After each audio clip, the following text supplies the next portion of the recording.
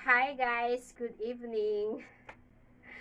Alam niyo, uulitin ko itong ah, video ko kasi nagawa ko na nagawan ko na ng video to kaso nga lang ay na-delete ko na hindi ko pa na-upload.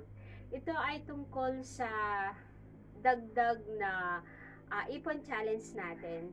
Ah, so, sasabihin ko lang sa inyo, kung nag-share man kami ng mga ganito guys, hindi sa nagmamayabang kami, pero gusto lang namin encourage yung mga katulad naming mga may-ari ng sari-sari store at saka yung mga nagbabalak, no, ah, na magkaroon ng sari-sari store at upang sa ganoon ay magkaroon naman sila ng idea o kaya kaalaman, no, Ah, kasi kami kasi ay ah, alam na namin kung ano yung mga pasikot-sikot, no? Kasi nga, syempre, medyo matagal na rin tayong ah, ah, nag-handle ng ah, sari-sari store. Kasi before na nag-abroad ako, ay ito na yung ginagawa ko, guys. Ayan. O, syempre, alam niyo naman na lagi akong nagkakape. So, higop muna ako ng kape, guys. Ayan. Alam niyo, ah, ang akala ko kasi ay ah, na-upload ko na itong video na to. Kaso nga lang ay hindi ko pala na-upload. So, pasensya na, uulitin ko. Ayan. Ah, so, makikita ninyo, may pagbabago dito sa aking likuran. So, ito guys, ay syempre, yung kabibili ko, no? Ah, na display cabinet at saka itong Durabox. Alam niyo kasi ito ay ah, syempre, kailangan ko para hindi madumihan yung mga paninda ko at mas organized, no? At syempre, alam nyo naman na meron talagang daga. no? Ah, kaya kailangan naka-safe po yung mga ah, noodles natin. Ayan. So, nilagay ko muna doon sa taas yung mga noodles. Supposed to be dito. Pero, ah, sa kanilang pagka may, may, ah, may time ako, kung meron akong ilalagay dito kasi, ito kasi, Ah, punong-puno pa ito guys, ka mga mix siya.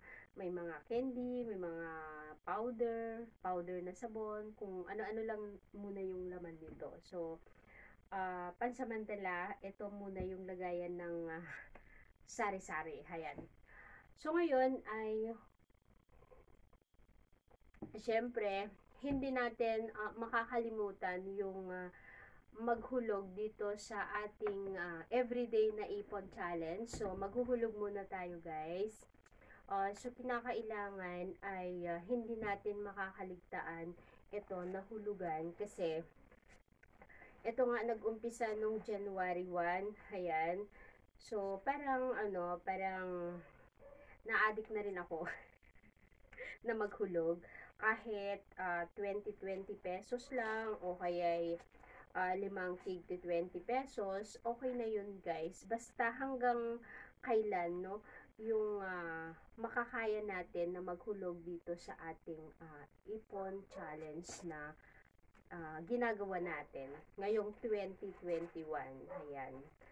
So, mag-umpisa na tayo na maghulog. Ayan. So, i-fold lang natin itong tig to 20. Limang tig to 20 guys, huwag nating biglain kasi ah, kinakailangan ay ah, yung alam lang natin na makaya natin na ihulog araw-araw. Ayan. Ako ay, syempre, ah, ito lang muna yung ah, kaya kong ihulog, no? Although na alam ko na makakaya ko naman yung mas higit pa nito. Pero, ah, ito lang muna.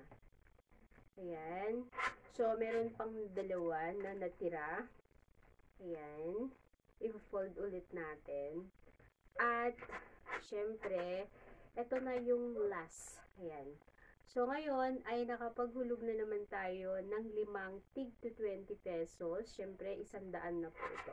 So, nakikita ninyo, ito na po yung ah, ipon challenge natin guys. Ayan, medyo ah, dumadami na ang laman. Ngayon, ang isi-share ko ay yung nadagdagan natin, yung ah, limang piggy bank natin. Ayan. So, meron tayong blue, meron tayong orange, parang siyang yellow pero orange to guys. At saka meron tayong violet, ayan. At ah, ibababa ko na lang to. At saka dalawang pink, ayan. So, alam niyo napuno na kasi itong tatlo guys, si pink na isa, si violet, at saka si orange, no? Itong si orange ay hindi siya kas hindi siya uh, kagaya ng mga apat ang size, mas maliit lang siya, pero mabigat siya guys. Ayan. So, nabibigatan na ako dito sa tatlo, at saka puno na rin. Kaya, bumili na naman ako ng uh, dalawa guys. Itong si pink at saka si blue. Ayan. At si blue ay nahulugan na natin. Ayan. Medyo mabigat na rin guys. Alam niyo hindi naman po importante, ay hindi naman mahalaga kung uh, magkano, no, yung hinuhulog natin. Kahit piso-piso guys, no, ay nakakaipon rin yon Kasi uh, gaya ng uh, shinare ko noon na uh, parang uh, ikukumpara na lang natin doon sa uh, patak ng ulan guys kahit uh, hindi siya gaanong malakas pero kung kung patuloy ang pagpatak ng ulan yung isang balde ay mapupuno din yun guys hanggang sa umaapaw. So gano, ganito rin yan guys. Pagka uh, ginagawa natin ito kahit man sabihin natin na hindi naman araw-araw basta meron tayo, ay maghulog tayo, ay darating yung araw na mapupuno rin natin to guys. So, etong tatlo na piggy bank ko, hindi ko naman inaasahan na mapupuno ko siya ng madalian. Kasi,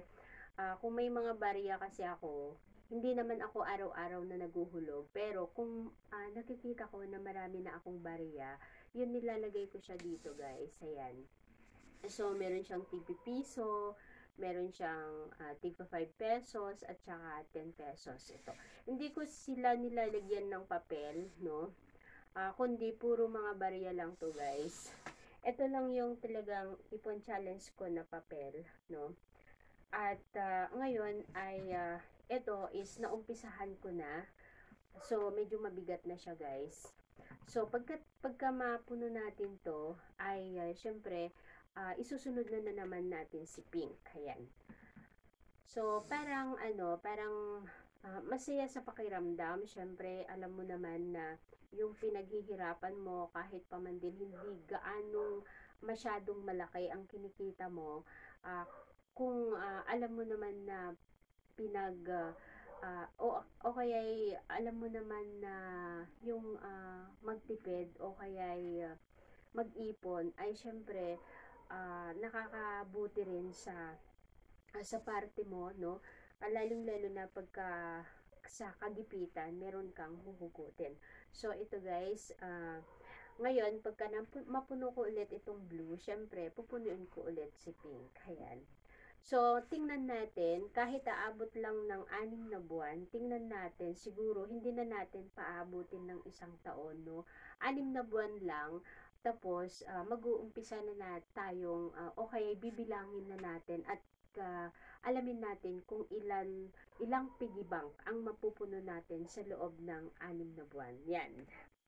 So, ngayon ay, uh, syempre, uh, ako kasi, hin, gaya ng nasabi ko, hindi naman kailangan na araw-araw, no, na maghulog ka dito sa piggy bank mo, no, unless na talagang challenge na uh, sabi mo sa sarili mo na kailangang maghulog ka talaga. Ito talaga is araw-araw ko siyang hinuhulugan guys. Kasi uh, parang ito yung bayad ko sa sarili ko. So, ibig sabihin uh, is uh, parang 100 pesos lang ang kaya ko munang ibayad sa sarili ko. Although na uh, mas malaki naman ang kinikita ko sa isang araw, no? Kasi nga, ay iba-iba po yung paninda ko. Siyempre, alam niyo naman sa karne, no? ay uh, ah, 20 pesos per kilo. So, magbe-base na lang po tayo sa karne, sa isda, sa mga frozen, sa mga gulay. Siyempre, uh, mas higit pa doon, mas higit pa sa isang daan yung kinaka, kinikita natin doon lang sa uh, mga nabanggit ko, di ba? So, how much more dito sa aking uh, tindahan? Ay, Oo, sa mga grocery items. Kaso nga lang ay, yun nga lang talaga. Kasi yung mga iba guys, may napanood ako na isang libo at saka 500 yung iniipon nila o hinuhulog nila sa kanilang ah, ipon challenge, no? Pero napansin ko, no, ah, hindi po kakayanin kasi ah, kung ganito lang na sari-sari store, no, syempre, hindi mo naman ah, kikitain, medyo mahirapan ka, nakitain yung ah, 1,000, no, every day. Okay lang, yung mapagbebentahan mo, okay lang, kaya mong ah, ah, palabasin yung 1,000 na mapagbentahan sa isang araw. Pero yung kinikita na sinasabi nila na 1,000 per day, ko, nakikita ko naman yung klase nung sari- sari-sari store nila, hindi nila kakayanin nakitain yung 1,000. So, ibig sabihin yung 1,000 is nahuhugot na nila yung ibang puhunan na nila doon, guys. Kaya nga, hindi niyan hindi nila nakayanan, nag-stop sila kasi nga napapansin na nila na nahuhugot na nila yung puhunan nila. Kasi kung kakayanin talaga yung store nila, bakit ah, after 3 months ay huminto sila? Ay hindi, after 2 months ay huminto. Kasi nga syempre hindi talaga kakayanin. Ah, bale, mag-iipon lang tayo. Yung kakayanin o kaya yung alam natin, nakikitain natin araw-araw. Kasi huwag tayo masyadong ah, mag ah, maghulog. Yung talagang ah, parang ah, sobra-sobra no? Doon sa kinikita natin. Kasi nga yun nga ang ka- kalalabasan guys. Syempre mahugot mo na yung puhunan mo. Samantalang ako is sy- marami din akong pinag ah, pinagkakakitaan no? Ah, may, meron pa naman akong mga online pero hindi pa hindi naman ako pala palagi no? Ah, may mga kinikita din ako doon. So ah, kung tutuusin nga ay ah, ah, maliit lang yung isang daan no na hinihulog ko. Pero yun nga lang ang talagang target ko muna. Ayan. Gusto ko muna kasi yung ah, ah, palaguhin yung tindahan ko no bago ako mag-ipon ng mas malaki no Ah, mas malaking mas malaki kaysa sa isang daan. Unle, ah, ah, at least ah, ang mahalaga ngayon ay nakakapag-ipon ako. Yan kahit pa konti-konti kahit hindi naman araw-araw yung mga barya ipon ko ayan, bar, barya challenge ko. Kasi at least nakakahulog naman ako sa loob ng isang linggo. So yun nga yung ah, kagandahan. At syempre ah, napupuno ko naman ah, sabihin man natin na hindi araw-araw. Pero pagka marami naman akong ah, barya na ay hinuhulog ko naman. So madali lang siyang mapuno guys. And ah, ang kagandahan ngayon ay ah, yung nakakapundar at nakikita natin na lumalago yung ating tindahan. So, ito lang yung ma-share ko guys, no? Kasi, ah, para ma-inspire naman kayo, no? ah ng mga nanonood, no? Lalo-lalo na yung mga nagbabalak na magkaroon ng sari-sari store, no? Hindi mahalaga ah, o kaya hindi naman kailangan na araw-araw, no? Na maghulog tayo kung hindi kakayanin, no? Kasi marami din tayong ah, ah, mga pangangailangan, no? So, kung alam ninyo na medyo maganda ang benta ninyo, ay ah, pwede naman doon kayo maghulog, no? Pero kung talagang ah, maliit lang yung ah, kinikita o napagbebentahan ninyo, okay lang yung 5 pesos, 10 pesos na ihuhulog ninyo at least nakakapag-ipon po kayo, no? Yun lang yung mai-share ko ngayon kasi ah, inaantok na rin ako. Ayan. Magkape muna ako, guys.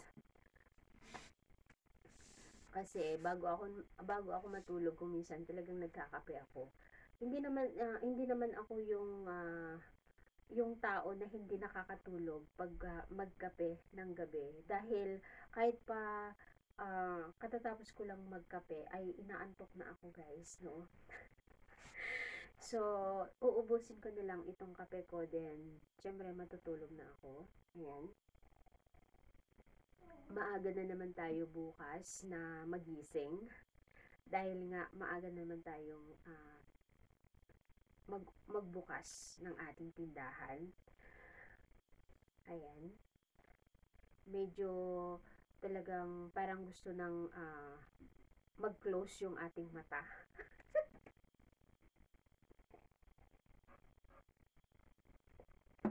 Dito ko na lang siya inilagay guys kasi pagka doon sa kabila ay talagang masikip na wala na talaga akong lagayan. So dito ko na lang nilagay yung ah, dalawang ah, napam- nap- nabili ko na lalagyan ng mga paninda. Ayan.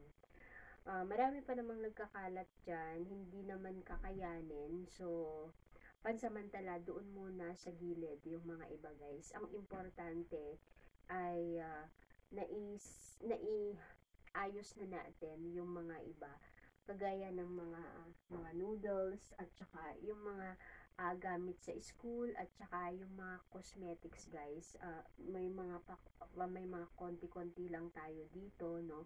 Kasi gaya ng nasabi ko yung hindi naman masyadong ah, ma- mabili ay kahit isa dalawa ang bibilhin natin ah, okay lang yon at an- at least meron po tayo no? Pagka mabenta natin ay pwede na naman tayong bumili di ba So, ganun ang ginagawa ko guys. Pero kung minsan ay nakakalimutan ko, nabenta ko na pala yung isa, ay ah, hindi ako bumili ng kapalit. Kaya kung merong maghanap, ay wala na akong maibibigay kung minsan. Dahilan nga, ah, nakalimutan ko. At alam niyo kanina, pumunta ako sa bayan, no? Kaya nakakadismaya ah, at ah, wala kang wala ka talagang ganang bumili dahil ah, pagkatapos ng bagong taon no ay ah, konti lang yung ah, naiwan ng mga stock o mga display doon sa ah, grocery i- grocery store na binibilhan ko. So bumili lang ako talaga yung ah, talagang walang-wala na sa akin.